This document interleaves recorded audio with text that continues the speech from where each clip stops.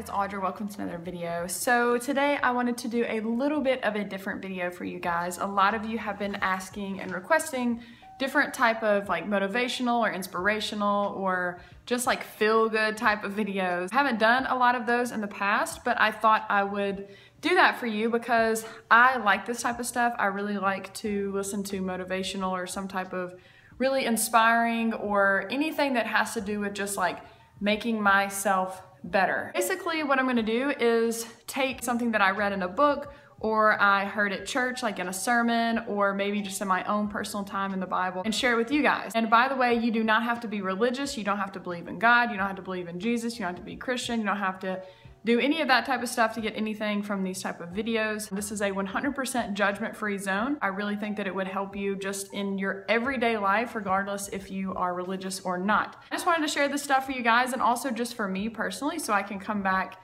in you know months or years and rewatch these and kind of be inspired myself uh, to be honest with you so here's what i want to talk about today the whole idea of the chapters of your life all of us look at our life in a big picture. At the same time, we tend to divide our life up into different chapters. Maybe you like you kind of look at your life and you say, oh, well, that chapter of my life was when I was a kid. That chapter was when we moved to this new house. That chapter was when I was in high school. That chapter when I dated that person. was that really bad chapter when we broke up. Then there was the chapter of I had this job and then I dealt with this tragedy. Kind of look at our life in different chapters. And there's nothing wrong with that. Like that's just, I think that's human nature. I want to really talk about the whole idea of getting caught up in those chapters of your life and never being able to move on, never being able to move forward. Because the, the truth of the matter is, if you can't get past those chapters, or if you're stuck in a chapter and you can't keep going, you're never going to finish the book in a good, positive way. Point number one is chapters are not the whole story. They're just chapters. Have you ever met someone when you, the first five minutes of just talking to them, maybe you learn their name, you learn where they went to school, maybe they have a job or something like that.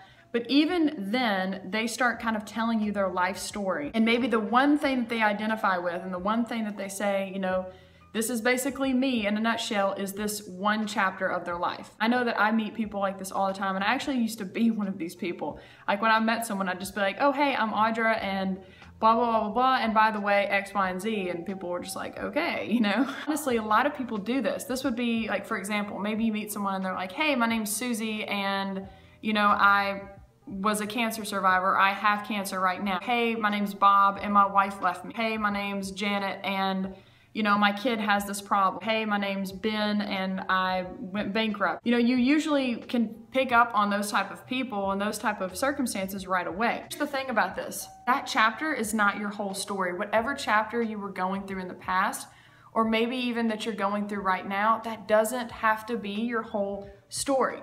And if you're not careful, if you let it become your whole story, then you're gonna end up sabotaging the whole story because it's not meant to be like that. It's just meant to be one tiny little chapter in this grand book of your life. Think about it like in terms of baking a cake. When you have a cake, you have all these different ingredients. You have the flour, you have the baking soda, you have the sugar, you have the oil, like you have all these different types of ingredients that go into the cake.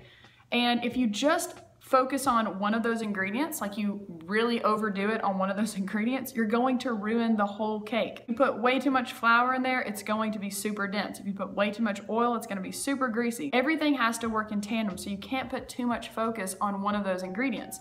If you do everything right, if you do a little bit of this, a little bit of that, then as you bake the cake, it's going to turn out delicious and it's gonna be great. If you focus on one chapter of your life too much, you're going to risk sabotaging the entire thing. The chapter is just a chapter, it's not the whole story. Point number two is that some of the worst chapters that you might go through make the best stories. Think about that. Some of the worst chapters that maybe you go through, or maybe even you've seen like a friend go through, or maybe a story that you heard on TV or something like that, those end up making the best stories. I mean, nobody likes to listen to a story or watch a movie or hear a newscast about someone who, you know, like an Olympic athlete, and let's say that they were genetically gifted, they had all the money in the world, they were backed by these awesome sponsors, they had all the high quality, high tech gear, they had everything running for them perfectly, and then they win.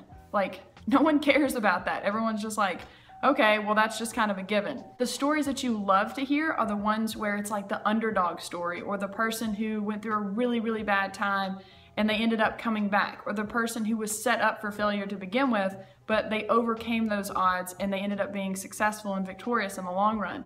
Those are the type of stories that we love to hear. When it comes to your own life, if you love to hear those stories about other people and you're very inspired and motivated by them, don't cheat yourself out of that, okay? Don't look at your situation. Maybe it's a horrible relationship that's happened, or maybe it's financial problems, or maybe it's health issues, or maybe it's um, your marriage, or it could be anything. Don't let those things ruin you from being victorious or successful in the long run. Those type of things can end up making the best stories. It's like when you're talking to old people and they just start talking and they start telling you, you know, when I was this and this and this, and I went through this really hard time, and then all of a sudden I did this and it changed, and you're just like, whoa, that is so inspiring.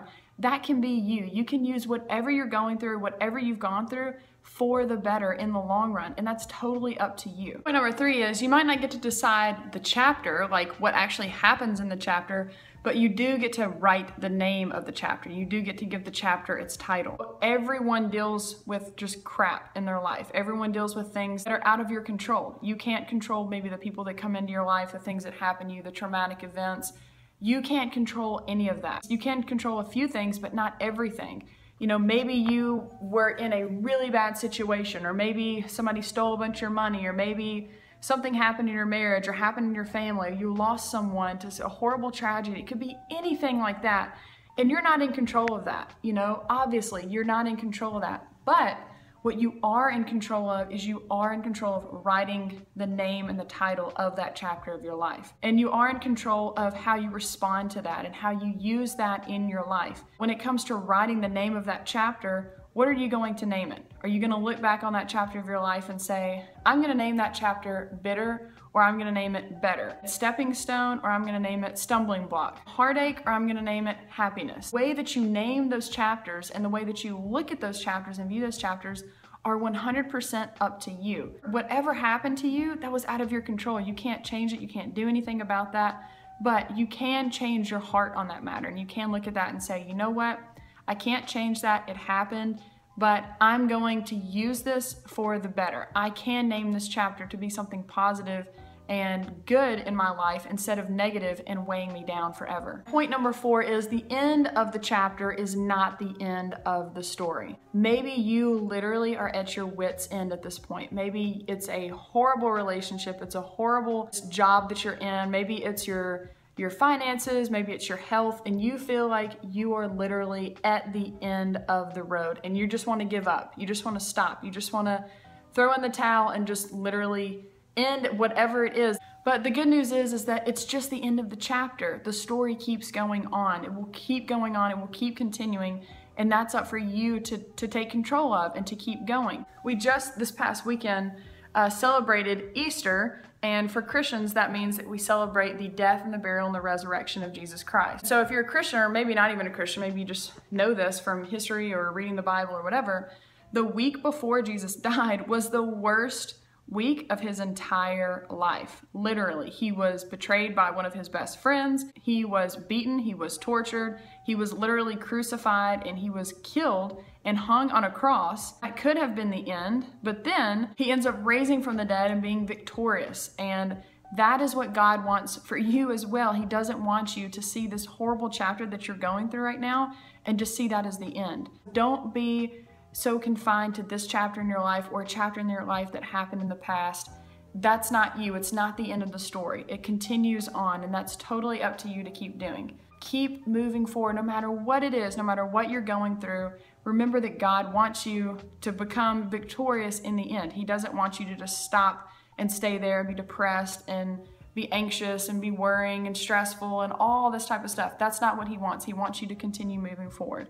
So I hope that that is helpful. I hope that that really um, inspires some of you guys. And if you like these type of videos, please let me know in the comments below or just hit the like button so I'll continue to do them. So hope you guys have an awesome day and I'll see you next time. Bye.